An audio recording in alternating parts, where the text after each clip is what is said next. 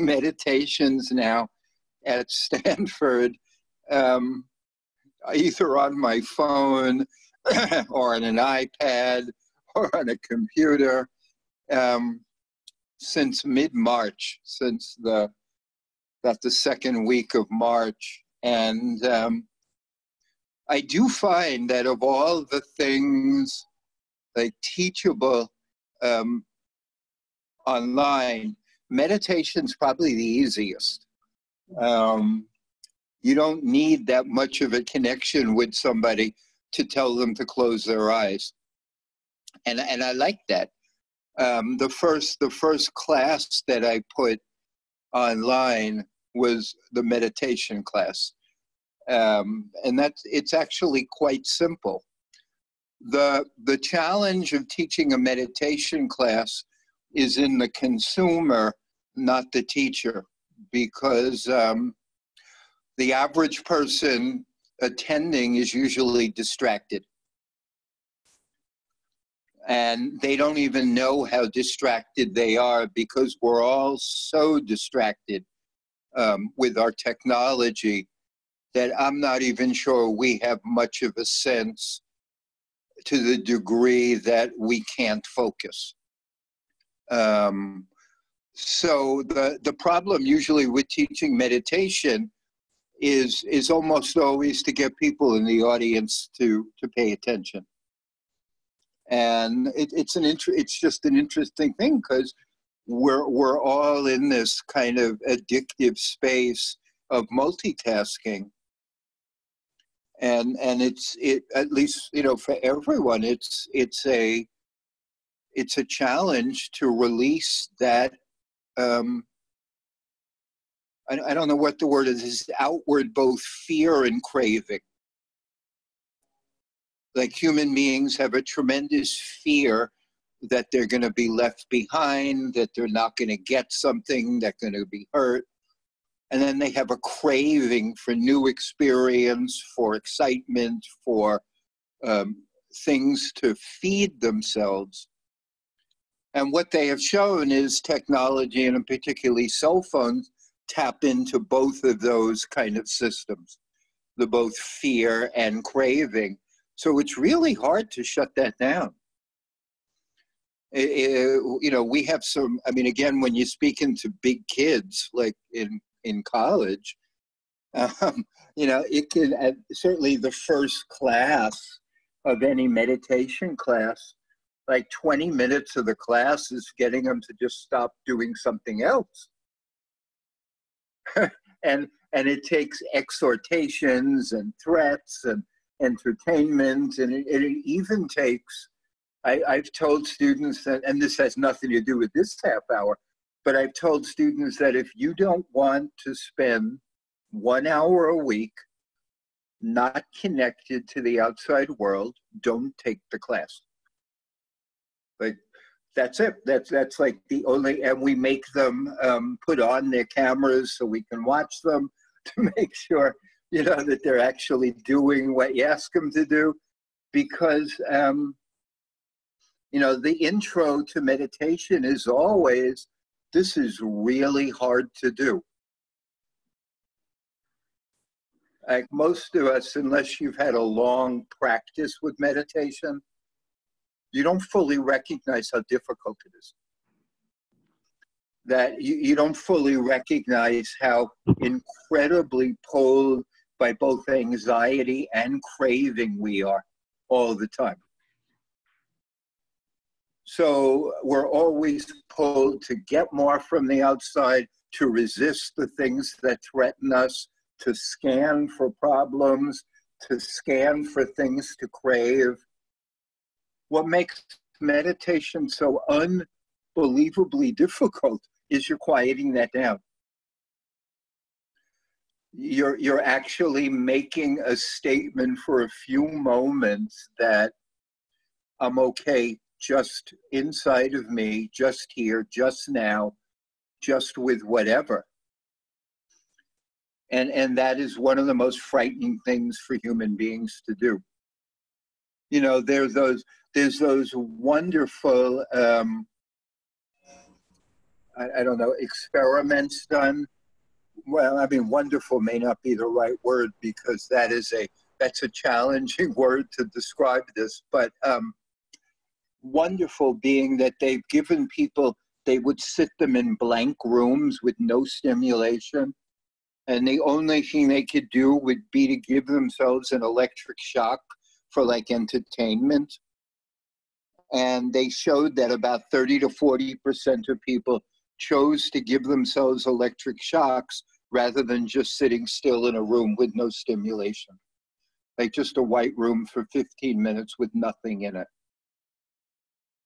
They you know they would rather shock themselves than sit there and, and experience nothing. So um, you know Jon Kabat-Zinn program which is the most famous by far meditation program, the you know the stress management program. His program regularly has about a 50% dropout rate because people really struggle to quiet down and sit still. And they really struggle to do one thing the problem with doing one thing and, and the hard part about meditation in its deepest sense is that when you do one thing, you end up being with yourself. And it scares the shit out of people what they see, which is why we're all so distracted and so busy and so like moving all the time because we don't want to go through that anxiety place where you have to see who you are without disguise to be able to go under that. But when you meet it, it's like, wow, is it really possible that this is what my mind does? And this is where it goes, and this is what I think, and this is who I am? This is horrifying most people who begin meditation practice basically say there's something wrong with the techniques because once I start to practice them, my mind is all over the place. So the techniques must be broken. because, you know, oh my God, look at what happens. I realize I'm a mental mess. It's got to be a problem with the technique. That is the universal beginning. And in fact, when psychologists excuse me, first started to teach meditation back in the 80s, they found that somewhere between a third and a half of people became more anxious practicing rather than less anxious because they hadn't learned yet how to frame it. They hadn't learned how to do the proper induction, the proper, well, this is what you're going to see, and this is what's going to happen, and here's the instruction because people became anxious because they saw they dipped their toe in how incredibly anxious they always are. And they recoiled from that. So when I when I ask my college students to put away your phones when we start meditating and turn off every other conceivable device that you have your watch, your toes, your, your whatever it is that is impinging upon you and shut off all the other windows you have in your computer. So this is it, people get anxious because they realize that their first antidote to seeing themselves clearly has just been breached their momentary anxiety reduction practice of, well, I feel the slightest degree of uncomfort, so I'm going to check something else. I'm seeing myself clearly. Well, we can't do that. I have to glaze over by reading an email. So when you ask people to actually just sit still, it's hard. Meditation is no no easy thing. And um, I don't think any of the real practitioners pretend that it is. Because what it does is ask us to very slowly transfer trust from outside to inside. Very slowly. to transfer what it is that we trust will be our support from outside things, um, doing, um, possessions, whatever it is, activities, to more inward, like states of being, quiet, trust. It's a long process to get there. It's a long process. And in its truest form, meditation was not meant to manage stress. It does that sometimes in some people very well, but it's not meant for that. It's meant to disentangle our intention from all the outside stimulation so we can start attending inside. And when you start attending inside, it can be very hard work to practice focus, to be honest with ourselves, who we are, to challenge some of our ways of thinking. Those are all really like not easy things. So, anyway, when you start meditation, it's very simple. Very, very, very simple. It's basically get comfortable.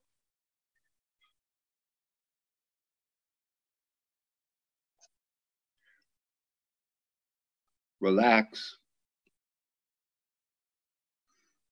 and try to center.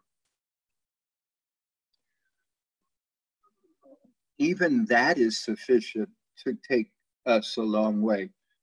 So the meditation begins with get comfortable, relax, and center. And center means literally center. Bring your attention to the center of your body.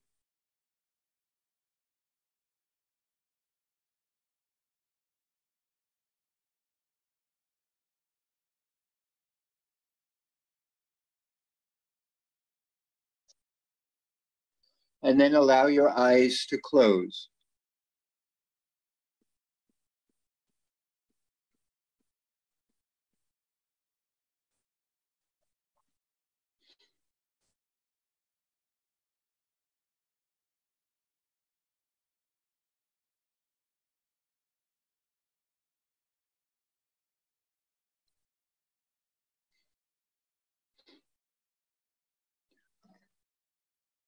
And if you if you keep your attention or bring your attention really to your center, like to to a point maybe an inch below your navel,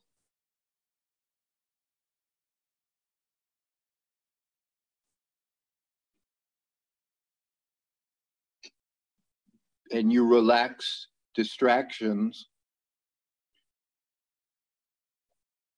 and just see if in a gentle way you can be in your own center, whatever that might mean, but just that's where your attention is.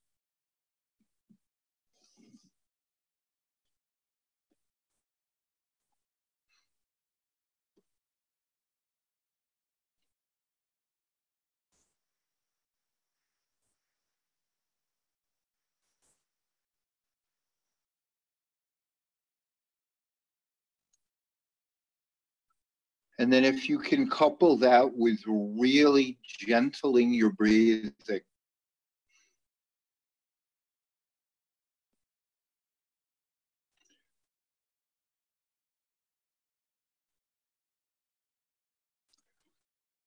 making your breathing as soft and as gentle and as peaceful as you can from your center.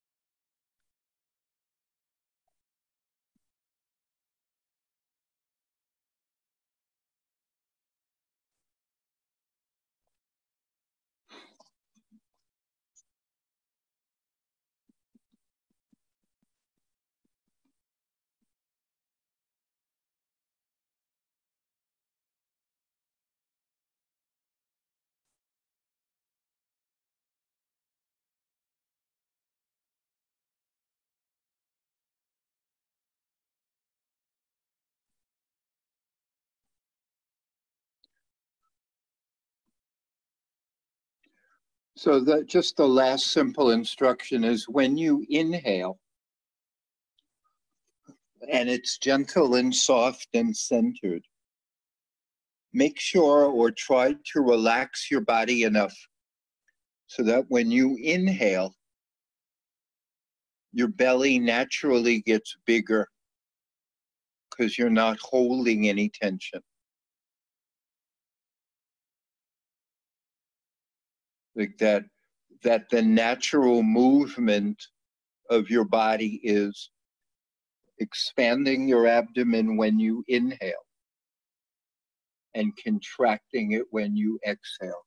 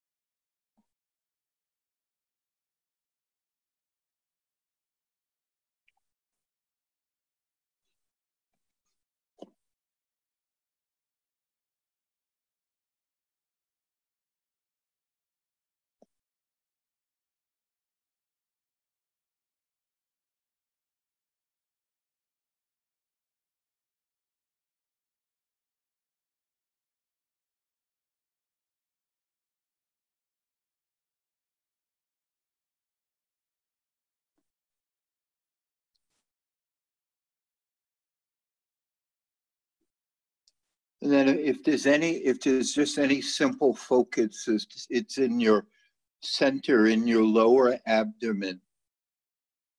Can I be gentle? When I breathe in, can I be gentle and soft? And when I breathe out, can I be gentle and soft? Just soft and gentle and quiet.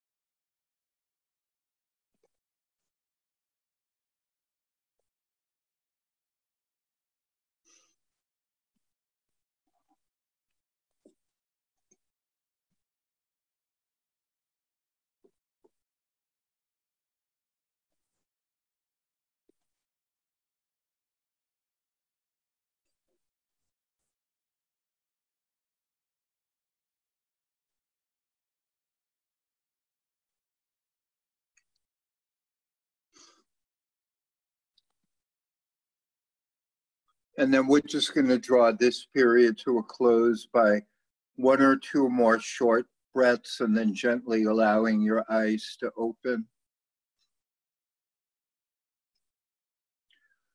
But what's nice is to, when you open your eyes, just see if you can like not fidget.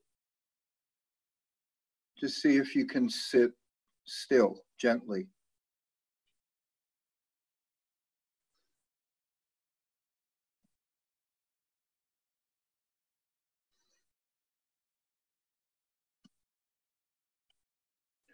You know, a lot of the beginning practices of meditation, um, the, the, the key elements are just trying to sustain attention.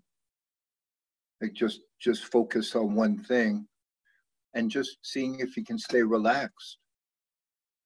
And and those are huge.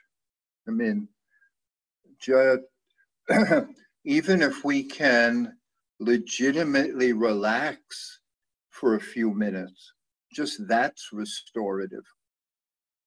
Like letting go of worry. But even more than letting go of worry, letting go of hurrying.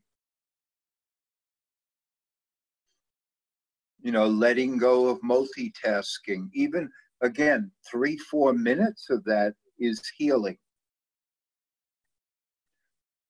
Um, you know, not being in the future for just a couple of minutes. I mean, it, I, I, I get no sense that meditation is designed to be mastered easily. And that, that it's either a one lifetime or multi lifetime practice. That it's like, you know, this is the, this is the hardest stuff that people do is is transcending their fear and their wandering mind and their um, grasping at everything that comes near them just centering and quieting down over time slowly reduces that stuff but it's not quick so so this there's no hurry. It's not like you're gonna, I don't know, you know, not gonna be a Zen master quickly. you may never be a Zen master, but you could be five percent calmer, and that would be fantastic.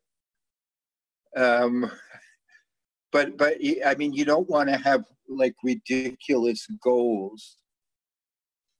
Like if if literally, if you have just as a goal that I, I'm going to sit still reasonably and relax. That's huge. Like I'm really going to relax. I'm not going to have that fevered need to do three things.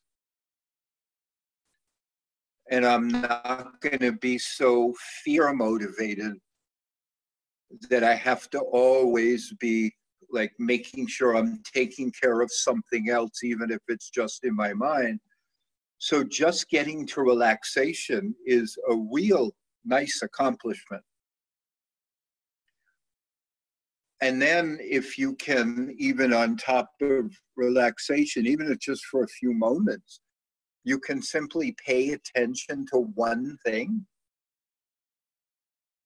That, that these are these are high level skills. You know, there's no, I mean, on, only the most BS of of meditation and spiritual practitioners tell you it's easy or that you're going to get it quickly. Or you know you have we have the entire history of evolution battling us in our fight for survival and fear. So you know this this ain't going away in any in any in any um, time that i can see but the regularity of practice matters so that you keep on um, slightly training ourselves to sit still, do one thing, and relax. And, and relax. And, and relax. Let me just lead through one more meditation before I, I stop. Again, if everybody would please this time close your eyes and sit in a somewhat straight position. I'm not I don't mean you have to be like uncomfortable, but not fall asleep position or just, you know, semi straight. Allow your eyes to close. And, and like remind yourself or ask yourself, like, don't I feel safe enough and loved enough and affluent enough to take five minutes out from worrying? Like, isn't my life good enough right now that I can simply relax and let go? Like you want to you want to start with a cognitive um, permission.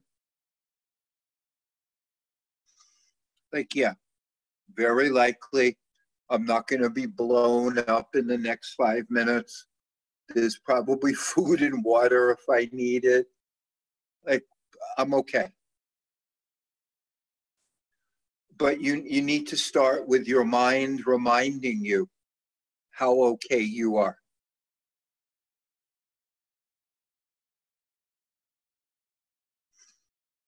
That I'm fine. I'm not perfect, but I'm fine. And that starts the process of quieting down. And it will tend to help you relax your shoulders, where what you want is your shoulders not being tight or pushed upward.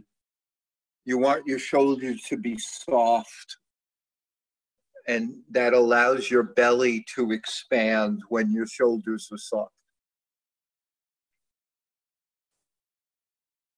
Because you don't want to breathe anywhere near your shoulders. You want to breathe into your belly, and you don't want tight shoulders to get in the way.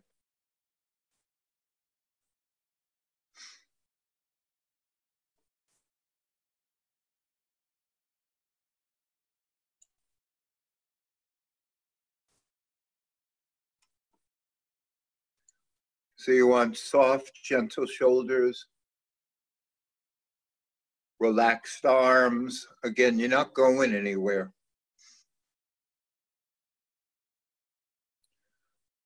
And the, the quieter, gentler your shoulders are, the easier it is for your inhales to go fully into your abdomen. And very gently move your abdomen outward for the inhale, downward for the exhale.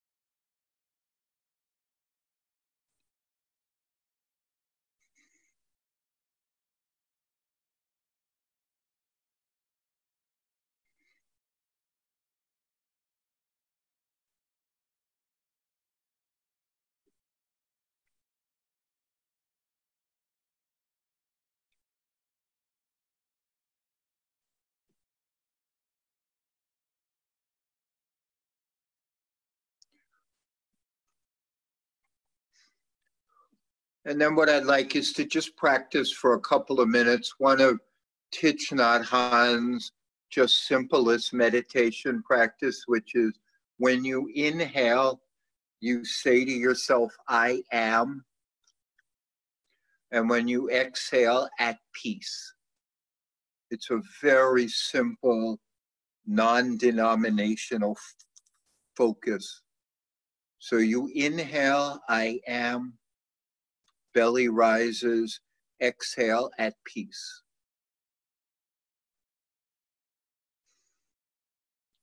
And if you can almost feel the words in your belly, it helps strengthen that. Like you're doing this from your center. I am at peace.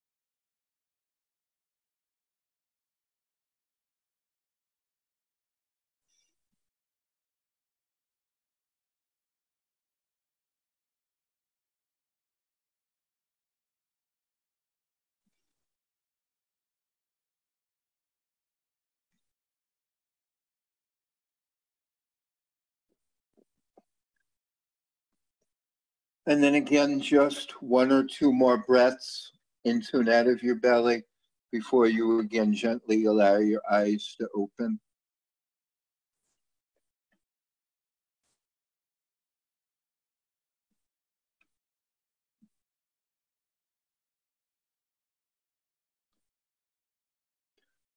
So I, I did two um, like 10 minute meditation practices. Um, from what I understand, I think it takes somewhere around, give or take, about eight minutes for most people to get some meditation effect. That um, the autonomic nervous system disengages the stress response somewhere between six and 15 seconds. Then um, the quieting. But to build any kind of practice takes somewhere about eight to 10 minutes a day for the most rudimentary practice. Um, but real deep changes from meditation require a lot of practice. And so we, we, you know, each of us has to choose what we want from it. So there will be changes if if you meditate every day for 10 minutes. You will change brain function a little bit. But if you want deeper changes or more long lasting changes, you may have to meditate a half hour or 45 minutes a day. But if you want profound changes, you have to, you know, go on retreats and, and meditate for long periods of time. But um, the, the, the bottom line is, at least from what I understand, to have influence on our nature requires daily practice.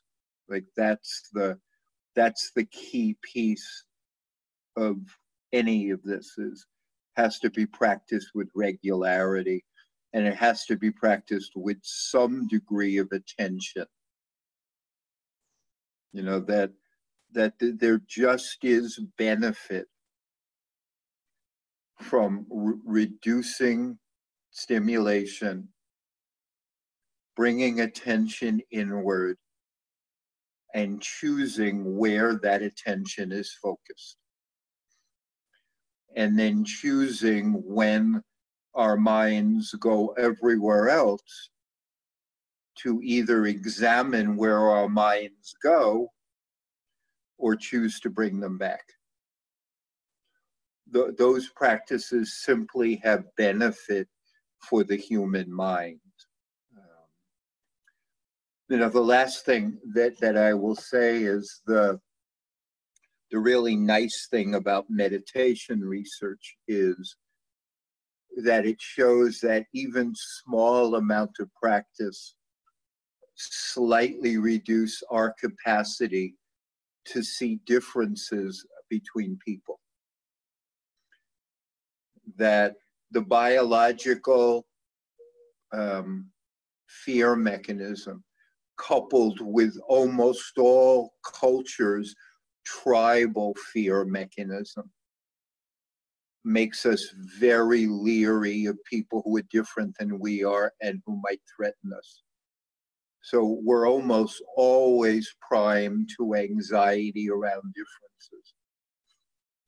And one of the benefits of even a short period of meditation is they've shown even on brain scans that that dims a little bit, that we're a little less jumpy around, you know, you're blonde, I'm not, you know, you live here, I don't, you know, you go to Stanford, I go to Cal, whatever it is. We are so primed to fear based and tribal differences that one of, one of the most immediate benefits of meditation is to quiet that down a little, which um, you know, to me is just a wonderful thing. Anyway, I do have to go. Um, thank you, Amy, for inviting me to yak again in front.